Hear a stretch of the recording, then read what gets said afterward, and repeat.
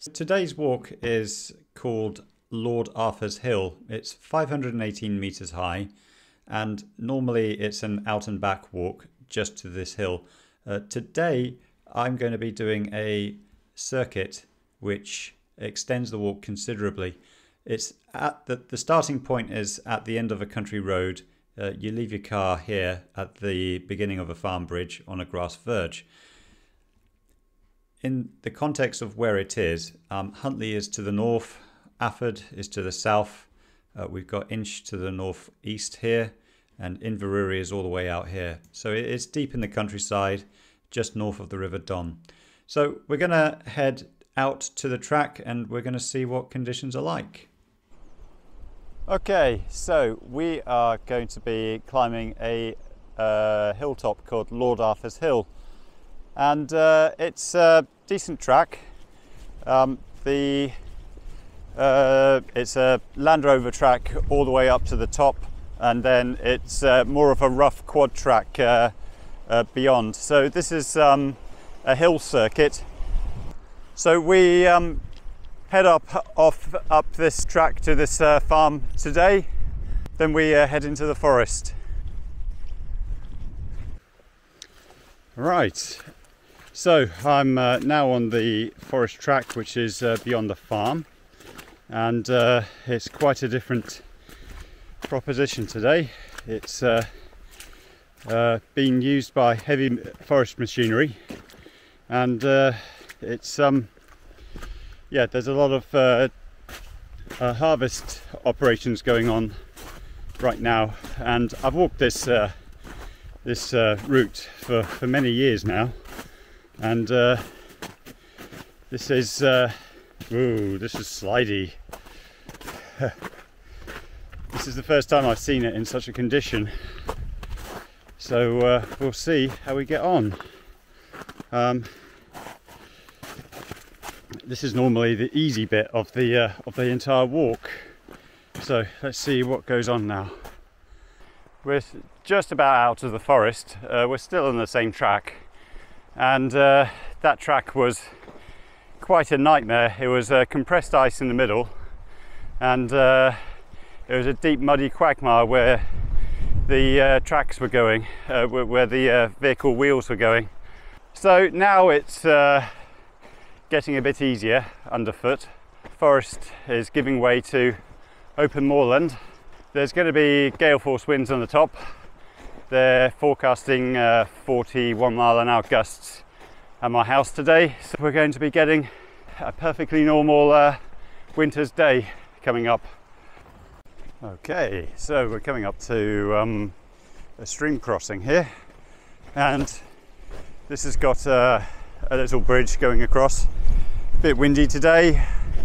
Let's uh, the wind's uh, accelerating now. Here we are. Just this. Let's uh, let's just get get across this. It's quite normally quite slippery. Okay so that was fine. That was no problem at all. Okay so we got this uh, track going up. It's a bit icy. We'll uh, make our way up there. So a bit higher up. Uh, less snow on the uh, on the track okay so uh, this is Bennachie and looking around We're a bit higher up. I've uh, managed to hide myself behind a tree to get rid of the worst of the wind. So behind this tree here, we have Lord Arthur's Hill. So we're not too far away from the top now. And hopefully this track will uh, be out of the uh, snow for as much as possible. Although I reckon I'm saying that a bit too soon.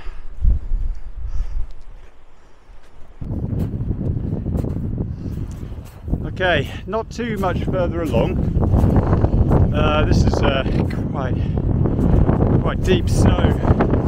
I was wondering whether to bring my snowshoes along, and uh, it was this kind of stuff, but it's very patchy stuff. So I put away my wireless mic. Um, the strength of the winds, there's just every fear that the muffler will just blow away in it. So uh, I have to use an unshielded microphone. Ah! Right, this is deep. Ah! Okay. So for the time being, we've still got this track going up to uh, Lord Arthur's Hill. So we'll just keep on going on up here. Okay, so we're right here, um, not far away from the uh, from the uh, trig point now. It's just a short uh, diversion off the uh, the main track. Here we are. Right, we've got a nice uh, backdrop uh, to it. Well, found the uh, footpath going to it, which is good.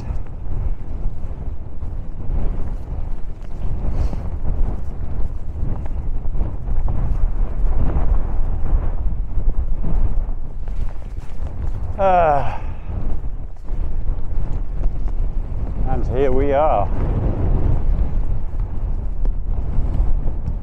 Let's uh, do a zoom in and do a panorama.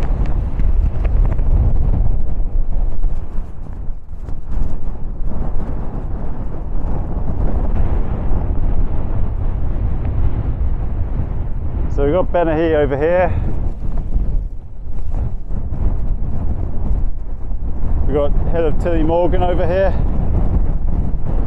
And we've got uh, Foudland Hill over there. So here's the ridge we're going to be walking along. There's Tap o' Noth.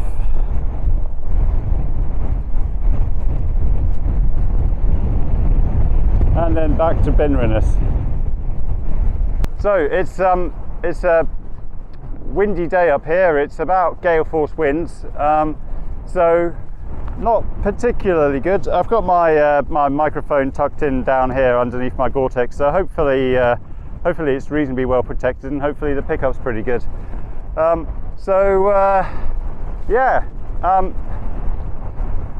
this is a, a, typically it's about three to four hours to do this walk, and uh, what we'll do now is get back to the track, and we'll uh, head off that way. It looks like there are some patches which are a bit uh, snowy but most of the uh, the ridge looks like it's uh, clear. So uh, looking forward to doing that. So this is one of my favourite uh, parts of the the walk. It's a, reasonable descent, and you just got this fantastic backdrop looking into the Don Valley. And the River Don itself is is very swift right now. There's a flooding going on further downstream. So uh, there's still plenty more snow left to melt off these uh, hills. So we take uh, we take the right hand fork here, and then eventually the uh, the, the, track swings round to the right uh, towards uh, Rhynie. So uh, we'll just carry on this way. Okay, so I'm off Lord Arthur's Hill now, and yeah, it's pretty exhausting work um, with this uh, with this uh, snow down here, but uh, it's not going to last all that long. And uh, my way ahead is to keep going forwards before turning right. So we're on the brow of the ridge.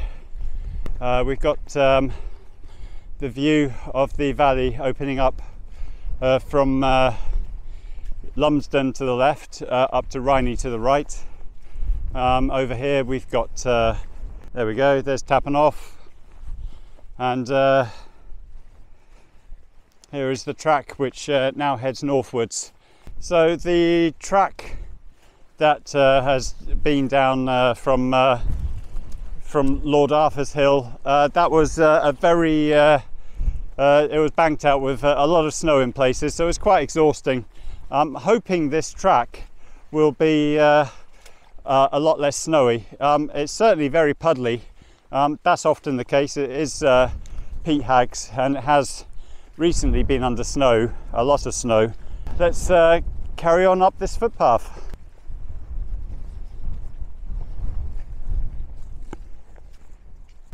Continuing along the, uh, the northbound leg of the, uh, the ridge, um, let's have a look uh, around to the right. And you can see we've got Lord Arthur's Hill here. Uh, quite a quite a wet track, and uh, it's often uh, it's often quite wet. But so far, I'm probably about halfway along this leg now, and uh, there is uh, no substantial snowbanks at all. My anticipation of the weather is coming up short today, which is thankful, really. Um, I don't like battling and getting buffeted too much, um, especially if I'm up in the uh, high up for prolonged periods of time, but it's definitely not an exhausting wind. Um, the only thing that's uh, a bit uh, challenging is uh, the amount of water everywhere. Where that fence is, uh, just to the right of it, you can see the track going up, and uh, we don't go all the way up to the brow of that hill, um, but there is a track which turns off to the right, and we'll be following that trick, track down. All right, so this is the northern portion of the uh, track. So this is the bit where I, I, head down into this valley. So it's uh, this is uh, Lord Arthur's Hill right here, and uh, scrolling round. We've got hints of the uh, the mountains, Ben Rinnes over here. So we'll uh, continue down this uh, track. So I've been walking on this uh, return leg of the uh, walk uh, now for uh, about 20 minutes and it's nature's not making life easy here. So the the actual track, as you can see, is uh, submerged under a lot of snow, which basically means I either have to uh, walk on the snow, which is extremely exhausting and is making my feet wet, or I have to jump into the heather, which is also exhausting. And uh, in this situation, it's uh, it's uh, a choice between two bad options. So, so I reckon this will carry on for some time. Um, I've still got a fair bit of distance to go until I drop down to the valley as well. So it looks like I'm uh, past the worst of the snowdrifts on the track, although I'm saying that too soon now. Um, no, it's just a little bit. Yeah, so um, it was uh, pretty exhausting and uh, now we're dropping down into the valley. So I get down to the valley, um, then I've got a stream to cross, and I expect it will be uh, quite, uh, quite, quite swift. So we'll see how that goes. I am nearly at the bottom of the valley, so no more, uh, no more uh, snowy tracks um, on this side of the river. But uh, my feet are uh, definitely wet. I'll be looking forward to getting back home and putting some dry socks back on. So here I am at the river. Let's go take a look at this.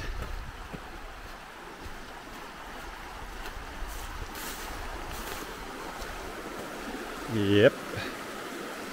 That's definitely uh, deep I don't think I want to be holding my camera at this stage, so I'm going to say goodbye to you until we get to the other side. Greetings from the other side. Right, I made it, but it was not without cost. Let me just have a look. Yes, I got up to my knees and that. It was uh, pretty uh, deep, so I was glad I put my camera away, but uh, yuck. I've got some real slushy buckets underneath my feet. Ugh. Yuck. Yeah, that was the deepest I've ever had it. Okay, not surprised, but at least I did that at the end of the walk and not the beginning. Well, here we have the stream as seen from the main track, and yeah, I thought to myself, ah, oh, it doesn't sound too noisy. I'll, I'll just go for it. So I'm back on the track yeah, normally this is a, a bit of a motorway and I can just stomp along it, but when there's too much ice about, or you just got the middle heather crop of uh, the uh, central section to walk on, as I do now, it does slow me down quite a lot. So hopefully 20 minutes to the car and then then I'm good. Okay, so I'm at the end of the forest track uh, but it's not the conventional end. Um, it continues going forwards uh, here. However, at the moment there's forest operations, so uh, we have to take this uh, alternative footpath um, because I don't want people going near the uh, timber stacks. So right now I'm about uh, five minutes from the car. this footpath here, it's um, not the nicest end, but at the same time, it's not at all, it's nowhere near as bad as anything uh, in terms of underfoot conditions to what I've already uh, suffered so far on this walk today. Right, next stop, the car. Finally back onto a dry piece of road. I wasn't expecting it to be uh, quite such a challenge. So how long did that take me? There's a good question. So it's 2.08, so I started about 10 o'clock, so it was about four hours, so okay. Not the uh, not the shortest journey time, but uh, nonetheless, um, not too bad. Right, time for some lunch.